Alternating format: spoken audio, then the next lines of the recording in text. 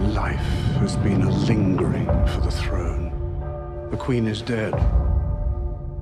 Long live the King. That's me.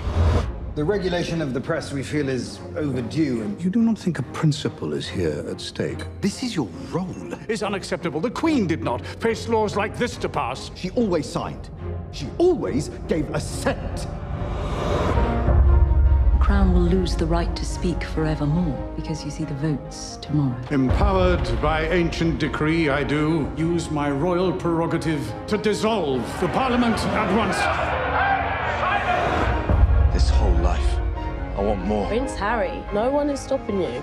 Today, I do announce that I, as Prince of Wales, will try to mediate between the King and the House of Commons. You're looking at me, aren't you? You think you know me, for I will be a queen, unlike the ones before. You need to know precisely where, to whom your loyalty lies. God save the king!